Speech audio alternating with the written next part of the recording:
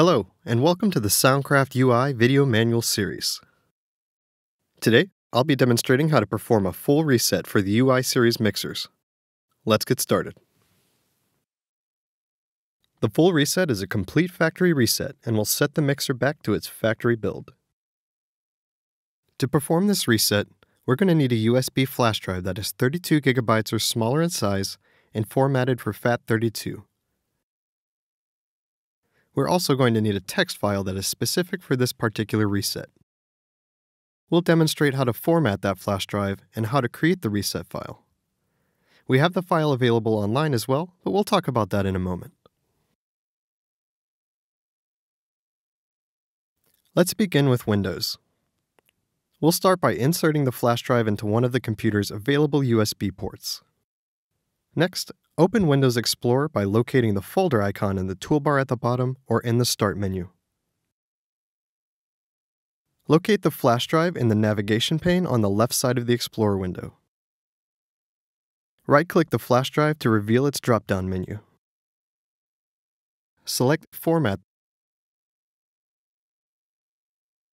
The flash drive needs to be formatted to FAT32. This is typically the default setting, but if not, go ahead and select it here. Everything else can be left to the default settings. Select the Start button to begin formatting the flash drive.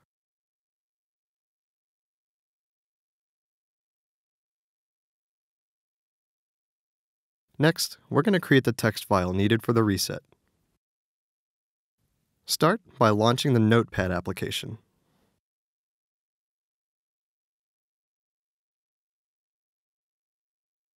The body of the text file will remain completely blank, so nothing will need to be added here.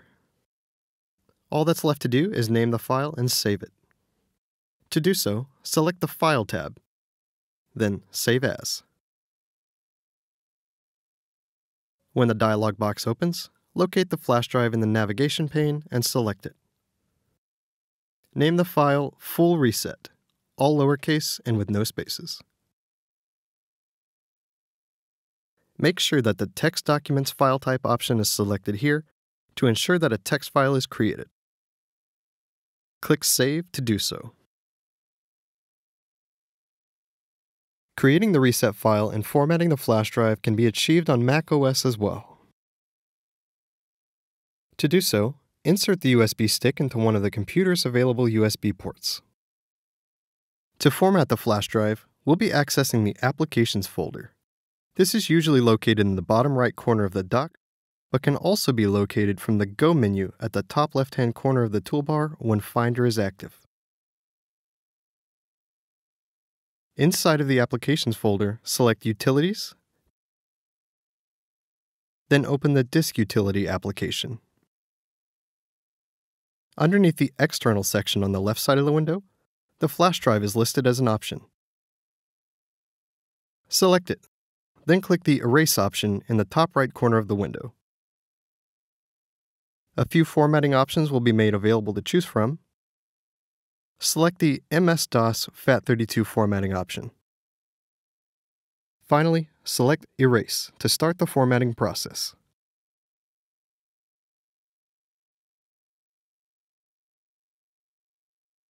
To create the text file, start by launching the application called TextEdit, which is also in the Applications folder.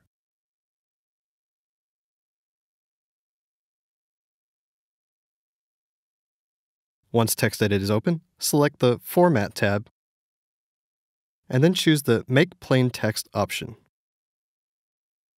The body of the text file will remain completely blank, so nothing will need to be added here. All that's left to do is name the file and save it. To do so, select the File tab, then Save.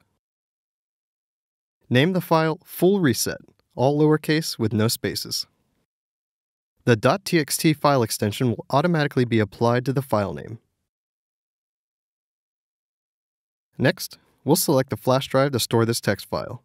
To do so, select the drop-down arrow associated to the Where option, then select the drive in the left panel.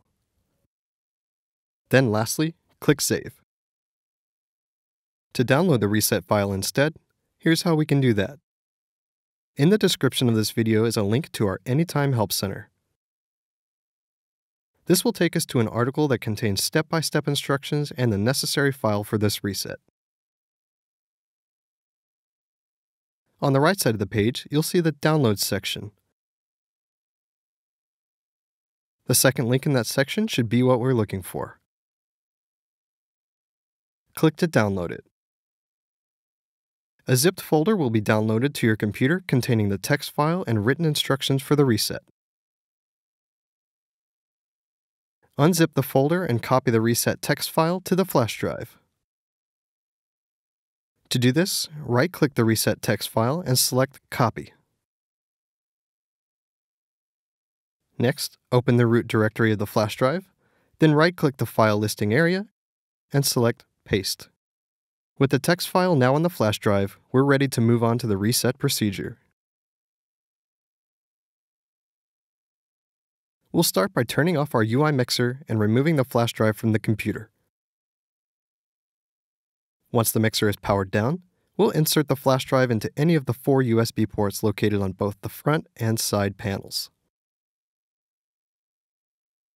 Then, using something narrow like a paperclip, push and hold the reset button on the side of the mixer. While holding that button, we'll then power on the mixer. Continue holding the reset button until the Wi-Fi light illuminates solid blue. The reset process will now begin. The UI software will read the reset text file on the flash drive and complete the reset.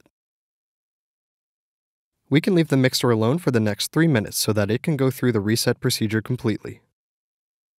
Once three minutes has passed, we'll power off the mixer. Let's allow the mixer time to power off completely by letting it sit for 10 to 15 seconds. Then we can power it back on again. The reset is now complete. Keep in mind that you may need to update the firmware as the full reset will set the mixer back to its factory firmware version. If a firmware update is needed, the current version can be found on the Mixer's product page on our website.